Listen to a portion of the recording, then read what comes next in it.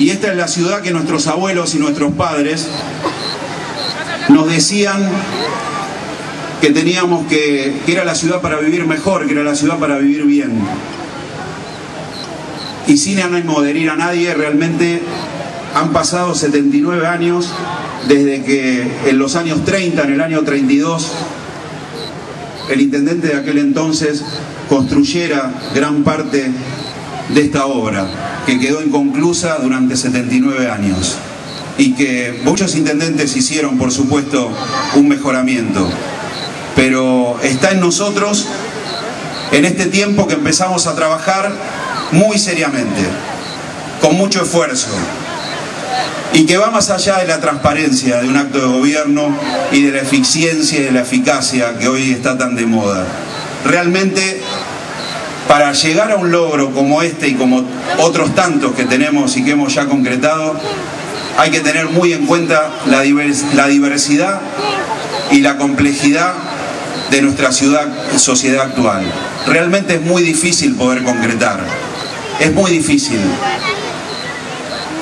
Hace cuatro años, cuando, cuando asumimos, yo decía que, que esta ciudad se parecía un poco al teatro de Ionesco. Ionesco es un autor rumano que vivió en Francia muchos años y murió ya hace un año y medio atrás y que realizaba una obra de teatro que se llamaba el Teatro del Absurdo. En el Teatro de Ionesco aparecían cosas falaces. En el teatro de Ionesco aparecían mujeres con tres orejas, hombres desfigurados.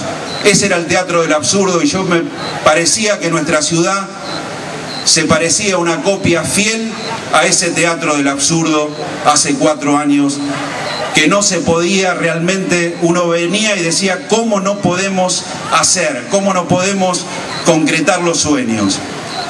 Y eso es lo que venimos a hacer en Costanera y en otros lugares. Crear un espacio para la cultura, crear un espacio para el deporte, crear un espacio simplemente para poder tomar mate, que no lo teníamos, un espacio de encuentro. Y eso es lo que hemos generado. Y esto no lo puede hacer un intendente, no lo puede hacer un ejecutivo por decreto se ha transformado esta zona en el lugar más importante. Y el lugar más importante, el lugar más importante de la ciudad, la calle más importante de la ciudad, es la calle donde más nos vinculamos, donde más nos vinculamos con la cultura, con el deporte, con el medio ambiente, y es esta avenida costanera que empieza a tener vida. Hoy iluminamos una parte y empieza a tener vida la noche. También un parque gigante de tres hectáreas que hasta hace unos días atrás no se podía usar por la noche. Después de 79 años empezamos a transformar y empezamos a cambiar la ciudad simplemente por una cosa que siempre hablamos y que muchas veces no hacemos. Siempre decimos que nos tenemos que poner de acuerdo. Siempre decimos que tenemos que converger. Siempre decimos que es más importante sumar que restar. Y eso es lo que hemos hecho.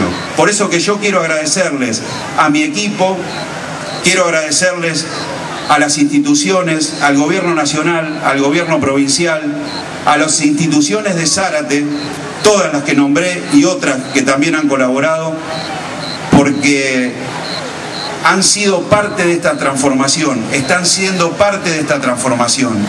Y eso creo que es lo más importante. No voy a dar números de cuánto salió esta obra porque ya están los carteles de obra con todos los montos y me parece que no tiene, no tiene sentido. Pero creo que tiene que quedar bien claro de que somos fanáticos de esta ciudad. Somos fanáticos de esta ciudad. Queremos cambiarla, la concebimos distinta, la soñamos distinta. Y eso creo que es el orgullo más importante como intendente, pero principalmente como vecino de esta ciudad que quiero, que amo, es poder lograr estos sueños que tuve hace muchos años y que los compartí con cada uno de ustedes en cada lugar y que también me dijeron que eran los sueños de ustedes.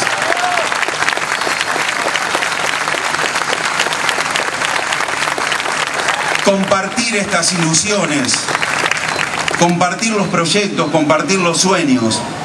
creo que lo más importante que puede tener uno en la vida y compartirlo, en este caso, como vecinos.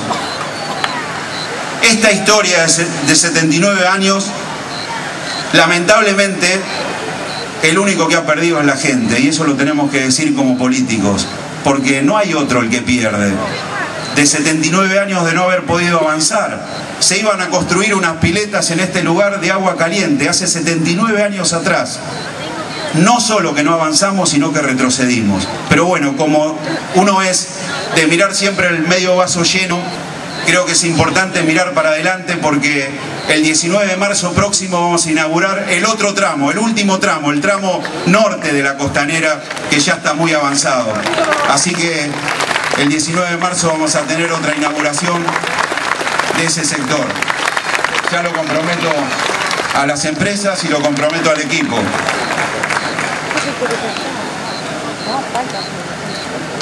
Simplemente esto, vamos a seguir trabajando para que aquellos sueños de nuestros abuelos y de nuestros padres de, de, tener una ciudad de cara al río, una ciudad segura, una ciudad para disfrutar, la ciudad que me contaron que iba a ser y que lamentablemente no fue, pero ahora la empezamos a hacer entre todos, eso es lo que aspiro para este próximo año.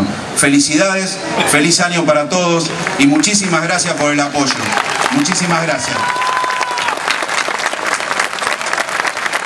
Señoras y señores, la palabra entonces del señor Intendente Municipal Osvaldo Raúl Cáfaro y seguidamente hará entrega el señor Intendente Municipal